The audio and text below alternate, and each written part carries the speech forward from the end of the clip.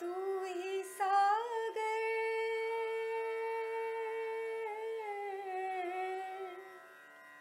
तू ही सागर है, तू ही किनारा। ढूंढता है तो किसका सहारा। ढूंढता है तो किसका सहारा। वह देखते हो? उस दिए को देखते हो? मिट्टी का मर्त्य दिया है, लेकिन ज्योति तो अमृत की है। दिया पृथ्वी का, ज्योति तो आकाश की। जो पृथ्वी का है, वह पृथ्वी पर ठहरा है, लेकिन ज्योति तो सतत आकाश की ओर भागी जा रही है।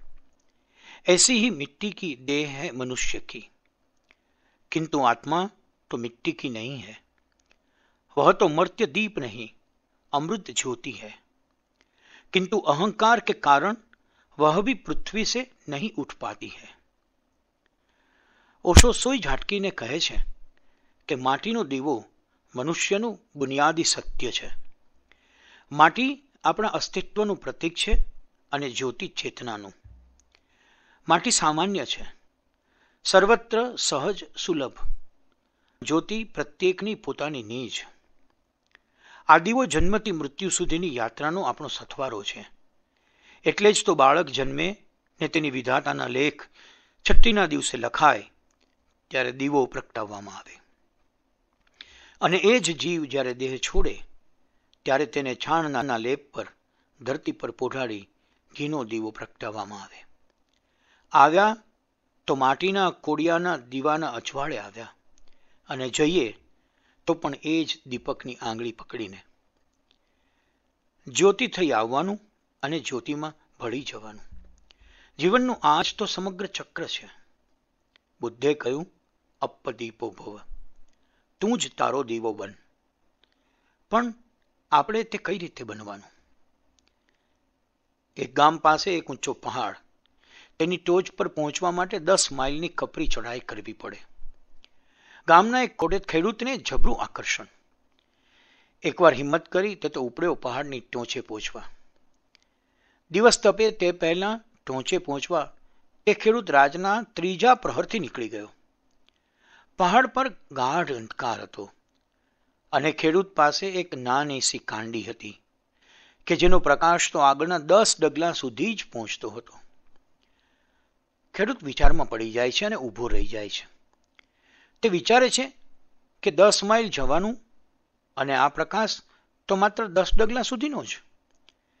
તે પહાડની તળેટીથી થોડો જ આગળ વધી નિરાશ થઈ ઊભો રહી ગયો. ત્યાં એક વૃદ્ધ માણસ ખેડૂત કરતાં પણ નાનકો દીવો લઈ તેની પાસેથી નીકળી ઉપર ચડવા લાગ્યો. ખેડૂતે જરાક આગળ વધી પહેલા વૃદ્ધિને રોકીને પોતાની મૂંઝવણ કહી સંભળાવી. વૃદ્ધ તો હસી પડ્યા ને બોલ્યા, અરે મૂર્ખ દોસ્ત, દીવો નાનો છે તો શું થયું?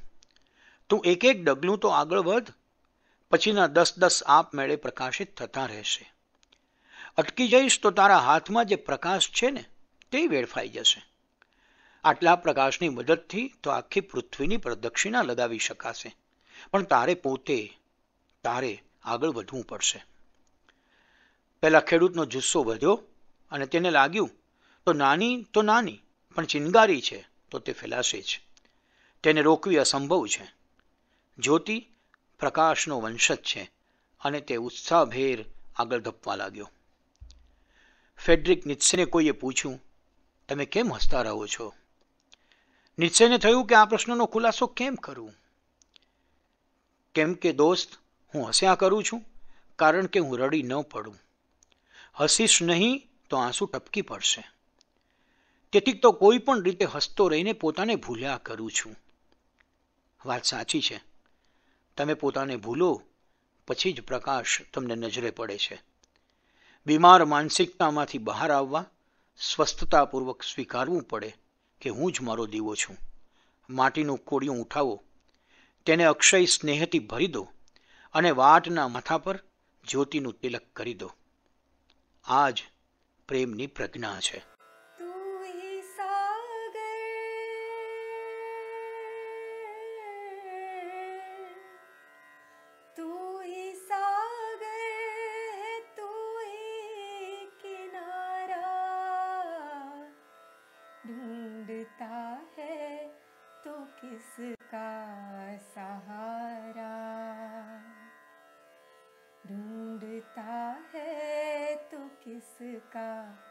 सहारा